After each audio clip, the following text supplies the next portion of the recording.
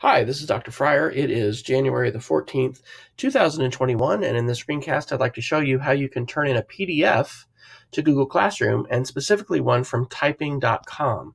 So in our media literacy classes, we are using typing.com, and so Casady students in the middle division can go to Casady Bookmarks and select typing.com there. You can also just click type typing.com in your address bar and you're going to click student login and you're going to be logging in with your google account. So you're going to click login with google and then you're going to be selecting um, if you have more than one the class. You may just have one class uh, students from casady here in this uh, area you're going to be able to click on tests and this is where you're going to see the tests that you've done. And you can see here I've taken a three minute test. And so in order to turn that in, I'm going to click print certificate, but I'm not actually going to be printing it. I'm going to download it. So up here in the upper right corner, I have an icon that looks like an arrow going down.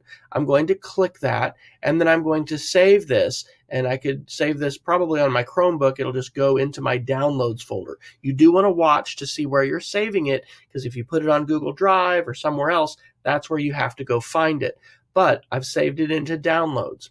So now I can come here to Google Classroom and I can go to my class and I can select my assignment, which in this case is called our keyboarding assignment. Um, and this was a five minute test and I did a three minute test, but make, make sure you get the correct one. Um, um, the process is the same. So I'm going to say add or create, and the one you choose is file because you're getting a file that has been downloaded to your computer.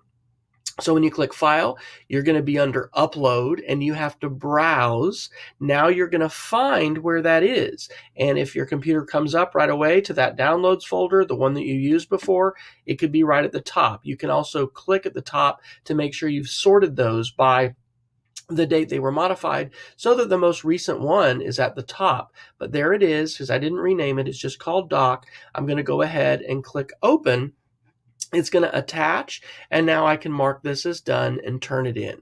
So that is the way I will be able to turn in a PDF. Again, it is a file that I'm going to submit um, and we're not actually going to be printing it. We are just um, downloading it so that we can be green and we can save on our printing costs and we'll be able to turn that in for class. Thanks a lot for watching.